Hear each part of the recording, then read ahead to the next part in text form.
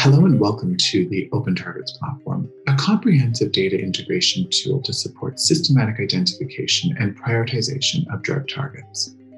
Our platform prioritizes drug targets by integrating publicly available data sets along with data generated by the Open Targets Consortia. We provide tools to search for and rank potentially relevant targets and diseases.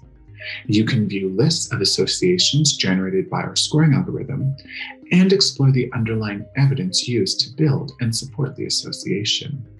You can also view profile pages for targets, diseases, phenotypes, and drugs, each with relevant annotation information to support drug discovery.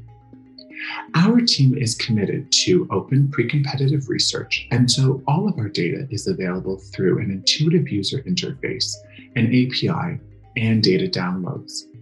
Likewise, our code and pipelines are open source and freely available, and so you can create your own private instance of the platform with custom data.